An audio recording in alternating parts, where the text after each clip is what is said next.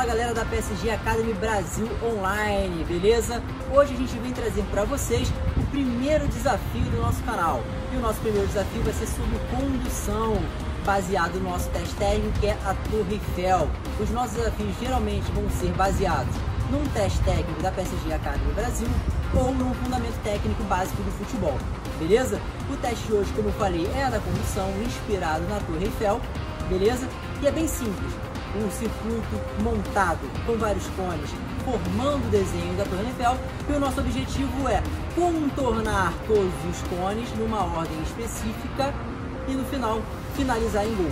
Fechado? A gente vai ter uma pontuação bem simples, galera.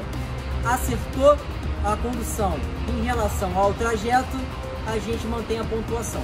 Fechado? Vai ser uma pontuação máxima de 10, onde a gente pode ser penalizado ou não de acordo com a condução do teste.